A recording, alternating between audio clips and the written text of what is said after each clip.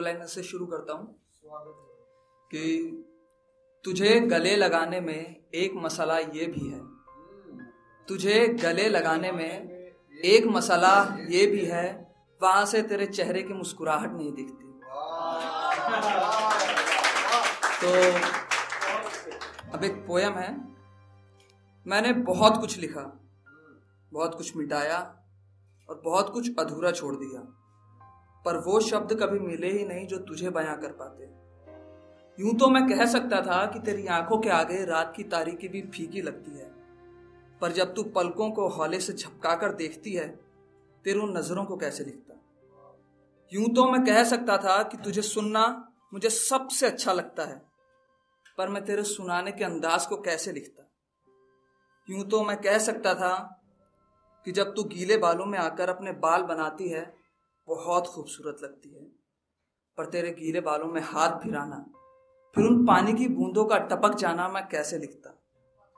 यूँ तो मैं कह सकता था कि तेरी सादगी, तेरा भोलापन, तेरा झल्लाना, तेरा नज़रिया, सब तेरी नुमाइंदगी करते हैं। पर इन सब के बीच तेरा मुस्कुराना मैं कैसे लिखता? तू ही बता मैं तुझे कैसे लिखता?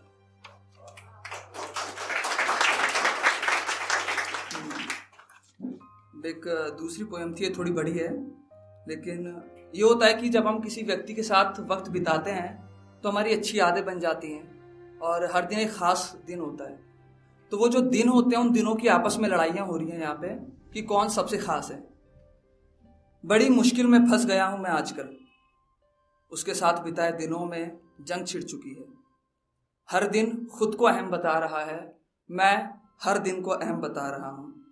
पर सवाल है सबसे ऊपर होने का। वहाँ तो सिर्फ़ कोई एक ही रह सकता है।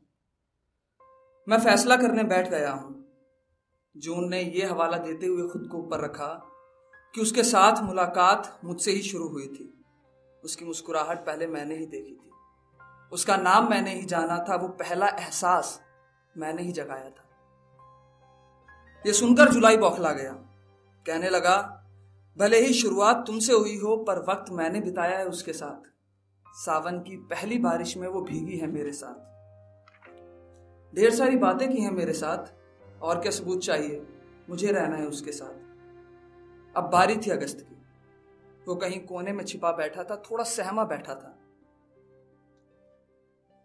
धीरे से बोला, कुछ खास है नहीं बताने को, पहला एहसास है नहीं जताने को। गिन चुनकर चंद लम्हे समेट रखे हैं मैंने। अब सोचने पर ज़्यादा कुछ याद आता नहीं, बस उसका छूना याद आता है। उसका शब्दों को नए मानी देना याद आता है। उसका फ़िक्र करना याद आता है। उसका चिढ़ाना याद आता है। उसका बालों को खोलकर बांधना याद आता है। उसका किस्सा सुनाने का अंदाज याद आता है। उसके मुस्कुराने पर नाक का सिकुड़ना याद आता है।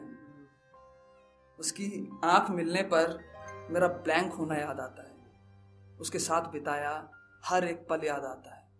बस, यही चंद यादें हैं बताने को, नहीं है शौक सबसे ऊपर आने को। मुझे जून जुलाई से भी कोई गिला नहीं, उनके बिना सच में मुझे कुछ मिला नहीं।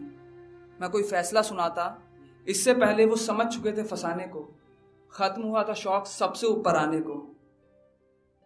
लगे आपस में ही अपनी ही बात बनाने को, फिर से उसका एक नया किस्सा सुनाने को। अब क्या होता है कि जब दो प्रेम में हारे हुए लोग आपस में शादी कर लेते हैं तो ये होता है कि एक जो नया रिश्ता बन सकता था उन दोनों के बीच में, वो पॉसिबिलिटी खत्म हो जाती है। उसके ऊपर दो लाइन्स लिखी थी। और फिर अंत में प्रेम में हारे दो व्यक्तियों की आपस में शादी हो गई। दोनों ताउम्र एक दूसरे में अपने खोए हुए प्रेम को ढूंढते रहे। देख टू लाइनर्स और था कि हिदायतें मिली थी मुझे जीनत से बचने की। जीनत खूबसूरती। हिदायतें मिली थी मुझे जीनत से बचने की। मुझे तो उसकी सादगी ले डूबी। Thank you